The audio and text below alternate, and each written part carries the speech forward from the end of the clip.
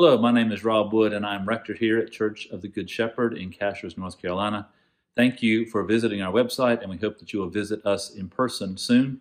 Yes, we have a lot of things going on in person, even with all that's happening with COVID. We have worship here on Sunday mornings and on Thursdays at 12:30.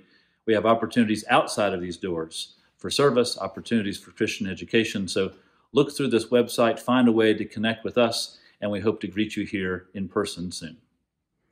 Hi, I'm Ellen Albright, Parish Administrator here at Church of the Good Shepherd, and my goal is to be a welcoming presence to you when you visit us in person or when you call by phone or send me an email.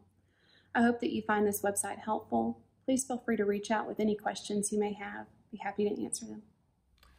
And I'm Murdoch Jones, curate, assistant priest here at Church of the Good Shepherd. And I'm new to this congregation, and I have felt that loving and welcoming presence.